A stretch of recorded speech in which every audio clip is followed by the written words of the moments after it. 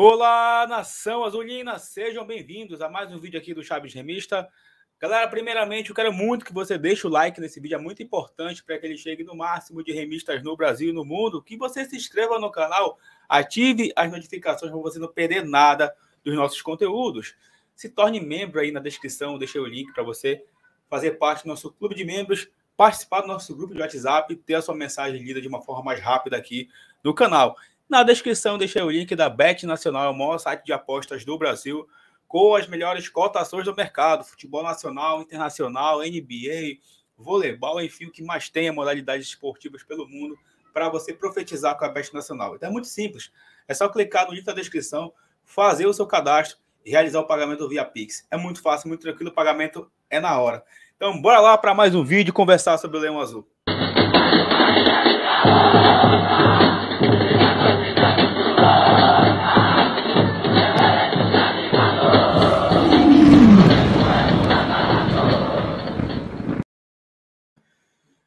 Galera, primeiramente eu quero agradecer vocês por ontem participar da nossa transmissão aqui do canal, a narração de Clube do Remo e Tapajós, Leão Azul venceu por 2 a 1 né? A equipe do Tapajós de virada no Baianão. A gente conseguiu aqui fazer uma transmissão legal, colocamos um pedaço da, da tela com imagens, foi legal a participação de vocês nos comentários.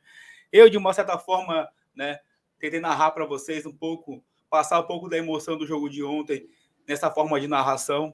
Mas no próximo domingo estarei no Baianão, tá? É, torcendo o Leão Azul presencialmente em mais um jogo do Campeonato Paraense, o clássico contra a Tuna. Então, de verdade, quero muito agradecer a vocês e queria que vocês deixassem nos comentários algumas sugestões, as suas críticas também, se vocês é, querem fazer aí construtivas. A gente vai estar aqui sempre preparado para ler elas com muito carinho, tá bom? Então, de verdade, muito obrigado a todos.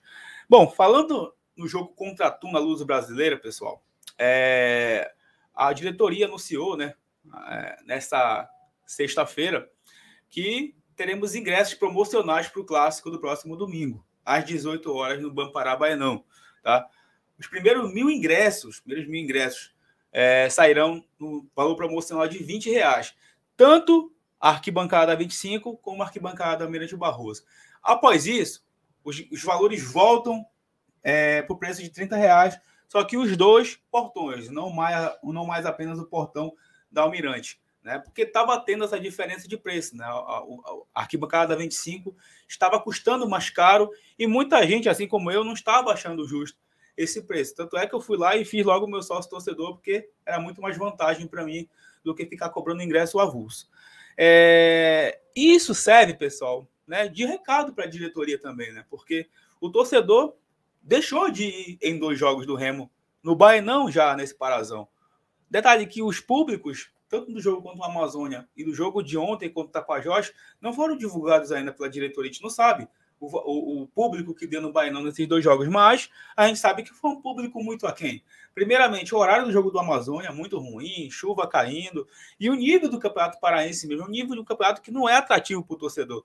O torcedor ele quer ver qualidade. E ele, se ele for pagar caro, ele vai querer qualidade em campo também para ele ver. É a mesma coisa isso quando a gente vai ver um filme no cinema, é a mesma coisa quando a gente vai no teatro, é a mesma coisa quando a gente vai no show também de uma, de uma banda famosa por aí. Em qualquer situação, tu você vai no restaurante também, você quer pagar caro, mas quer, quer pagar caro na qualidade, né? Então, por que, que o futebol a gente tem que pagar caro e o espetáculo for ruim? E detalhe, né? O nível de ontem do, do jogo do Remo também, primeiro tempo, o Leão jogou muito bem. É, Teve aquela falha inicial da nossa defesa, que o Tapajós chegou no gol. Depois o Remo se organizou, teve muitas oportunidades. Teve um gol anulado que foi muito polêmico, né? O gol anulado ali pela assistente Bárbara Loyola. Os jogadores reclamaram bastante. Depois o Remo consegue o gol de empate ali com o Brenner no pênalti que foi bizonhamente marcado ali, ah, porque o jogador do Tapajós colocou a mão na bola. E depois o Remo consegue a virada com o Eric Flores, mas antes disso o Remo já tinha perdido muitos gols, muitos gols durante o primeiro tempo. Se, então, se o jogo fosse 4 a 1 5 a 1 para o Remo no primeiro tempo, não seria nenhum exagero. No segundo tempo, o Remo caiu muito em produção, né? O time não conseguiu produzir nada e o Tapajós, por muito pouco, não empatou. Então, aquela coisa, né? a bola pune e quem não faz leva. Por muito pouco, o Remo não levou e não saiu com o resultado ruim do Baianão. Mas o primeiro tempo deixou uma impressão de que o Remo está evoluindo. O segundo tempo deixou a gente preocupado, lembrou até os desempenhos dos jogos contra é, o Amazônia, o Paragominas, né, que foram os dois primeiros jogos, e segundo tempo também no jogo aí. Primeiro tempo, na verdade, jogo contra o Tupiranga, em certas partes o Remo jogou mal, mas depois conseguiu se organizar e melhorou seu desempenho. Então, primeiro tempo de ontem deixou a gente um pouco é, mais aliviado. É, em relação também à torcida, o recado que a torcedor dá, né, insatisfação também, não só com a qualidade do futebol que é apresentado no Campeonato Paraense, mas também está insatisfeito ainda né, com a formação do elenco do Clube do Remo. Né? Ontem, por exemplo, mais uma vez o PH não conseguiu mostrar nada, e hoje a gente sai, a gente acorda aí com a, com a, com a notícia de que daqui a, a poucas horas, daqui a poucos dias, o Remo deve estar anunciando mais três contratações aí para o Parazão. Tá? Inclusive, tem boatos aí de jogador que disputou a Série B. Não vazou nenhum nome, senão a gente estaria aqui para conversar com vocês. Mas o Remo está no mercado em busca dessas três contratações ainda para o estadual, para qualificar esse time. E, na minha opinião, precisa qualificar o elenco também, porque o Bonamigo olha para o banco, vê poucas opções, e essas opções não conseguem mudar a história do jogo. Então, isso que a gente fica preocupado aí por desenrolar né, da, da temporada. Né? Porque daqui a pouco começa a Série C, que é o maior objetivo do Remo esse ano, e o Bench prometeu o título, né? A gente não só vai cobrar o título da Série C, título do Parazão, título de Copa Verde, e o Remo ir o mais longe possível na Copa do Brasil. Então a gente vai sim cobrar aqui, porque foi prometido isso pra gente. Ano passado o discurso era outro, né? De apenas se manter, de apenas disputar as competições.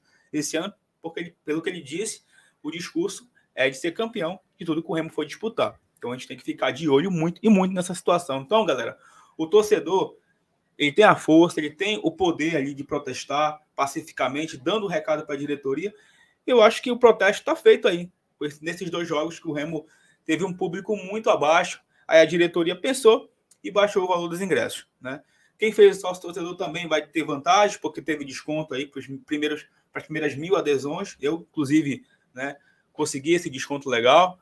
E vocês aí pode ter a chance de ver o Remo o ano inteiro agora sendo sócio torcedor. E também, fruto da reclamação do torcedor do Clube do Remo, prometeram aí, muito em breve, que vai melhorar a questão do Nação Azul, inclusive com aplicativo para facilitar a entrada do Baianão. Uma pena que não foi agora, né? Não é antes da divulgação do novo sócio que isso aconteceu. Vamos esperar mais um pouco aí para que isso aconteça e a facilidade é, seja um, um, marco aí nessa gestão, porque está difícil, né? Até agora, um sócio torcedor a gente não conseguiu ver sendo acertado. Bom, galera, é, eu queria que vocês comentassem também esses assuntos aí, tá? Sobre os valores de ingresso, que vocês acharam dos valores de ingresso. Queria que vocês deixassem os comentários aí. Bom, saiu aí uma sondagem, uma, uma especulação de que o Felipe, Felipe Gedós é, tinha recebido uma proposta do Novo Horizontino, né, o time de São Paulo.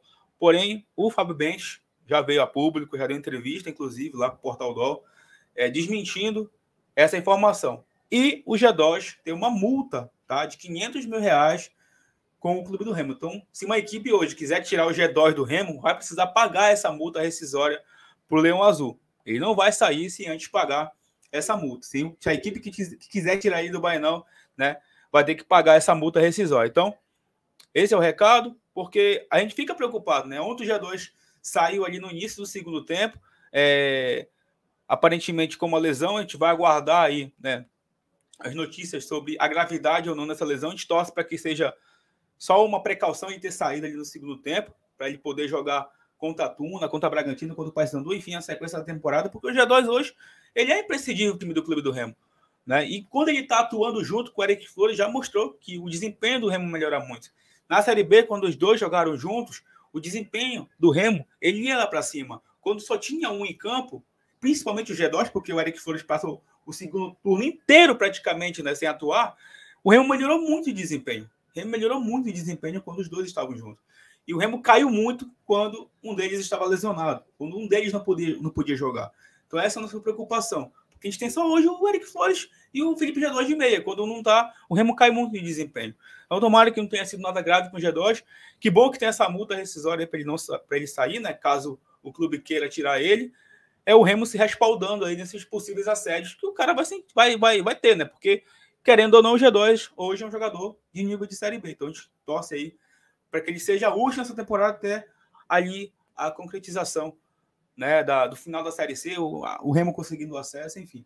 né? E que o Remo consiga trazer um jogador tão bom quanto ele, né? Para esse ano aí de 2022. Então, pessoal, é isso, tá? Se a gente tiver um pouco, pouco né? Se a gente tiver mais notícias, a gente vai trazer um pouco mais de conteúdo para vocês aqui ainda no dia de hoje, tá? A gente vai conversando e peço sempre que vocês deixem o like, se inscrevam no canal e compartilhem com seus amigos, porque vocês não sabem o quanto que isso ajuda aqui o Chaves Remista, tá bom? Tamo junto, vou deixar um recadinho aqui da Best Nacional. Valeu!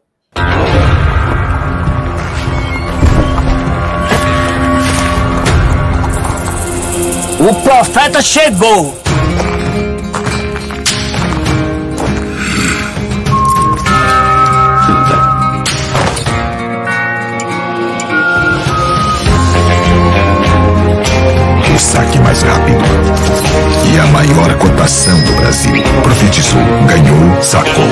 Nacional. Aqui dá jogo.